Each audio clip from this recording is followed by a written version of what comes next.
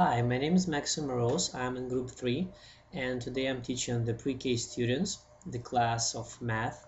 I'll be teaching my students how to add numbers from 1 to 10.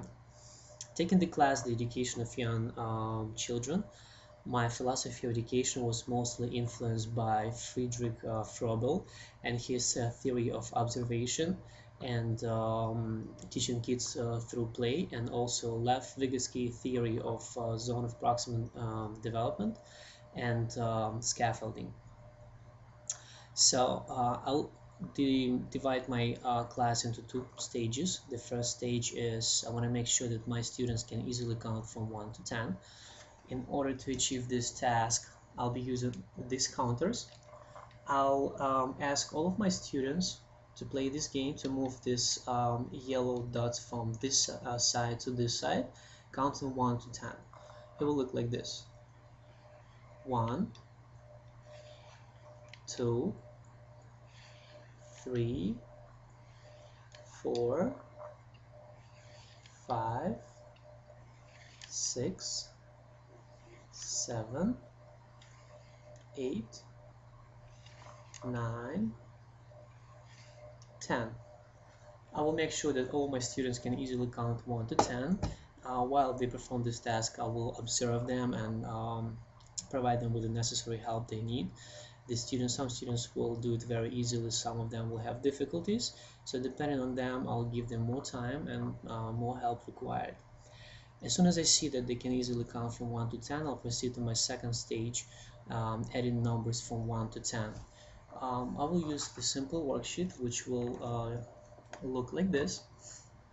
I'll ask my students to write their name here. Um, hopefully by that time they will know how to write their name.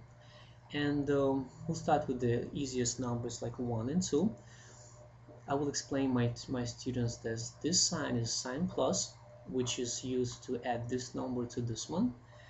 This number uh, this sign is uh, equal sign and we use um, this after we add this number to that one and we write the result right here. The easiest way to teach the students to count the numbers like this is using the beans or fingers but we can let our kids um, do it for a long time. So I will teach my uh, students um, to add these numbers with the help of dots. It will look uh, like this. One dot above digit 1 and two dots above digit. 2 which looks like this. And I will ask my students to count dots which is 1 2 and 3 so we have the result number 3 so we're gonna write this result right here. And we have number 3 so it looks like this. 1 2 3 the same procedure we're going to do with the numbers 3 and 4. I'm writing dots above digit 3. It doesn't have to be dots, it can be also circles or something else. It depends on the students and what uh, they would prefer to see above these digits.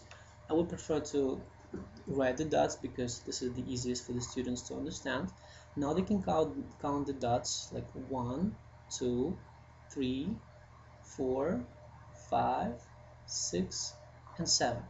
So, and right here they would they would write the answer seven. This is very easy uh, task to accomplish. It's um, easy for students and it's easy for the teacher. And both both the class and the, and the teacher they have fun. And I think it's very easy for students to achieve this task again um, while my students um, enter the numbers I have to observe them and uh, provide them with the necessary help. And depending on like what kind of help the students need uh, some students will grab it faster some students uh, will do it right away some students will need more help. Uh, so depending on them using the scaffolding and zone of proximal development I will help my students to achieve this task this is basically all. Thank you for your uh, thank you for your attention. Have a good day